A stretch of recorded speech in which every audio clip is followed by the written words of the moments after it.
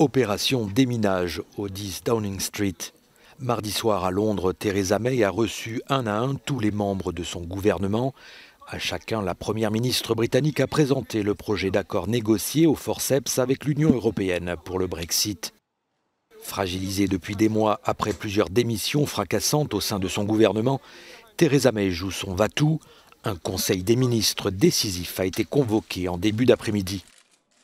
Le contenu de l'accord n'est pas encore public, mais la télévision irlandaise a indiqué que le principal enjeu résidait dans les dispositions trouvées concernant la frontière entre l'Irlande du Nord et l'Irlande. Un sujet explosif. Les partisans d'un Brexit dur ont déjà dénoncé le contenu de cet accord, estimant que le Royaume-Uni allait rester sous le contrôle de l'Union européenne.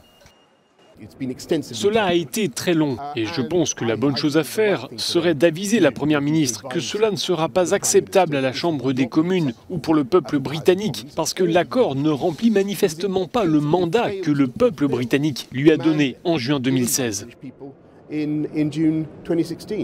Cela nous maintiendrait dans l'union douanière et de facto dans le marché unique.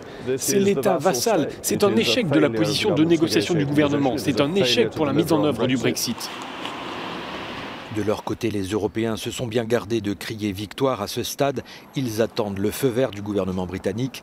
Après quoi, un sommet européen pourrait alors être convoqué le 25 novembre pour entériner cet accord.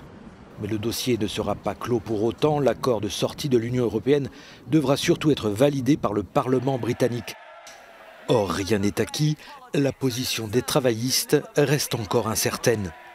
Un rejet de l'accord par les députés ouvrirait sûrement une grave crise politique avec à la clé la démission de la première ministre britannique.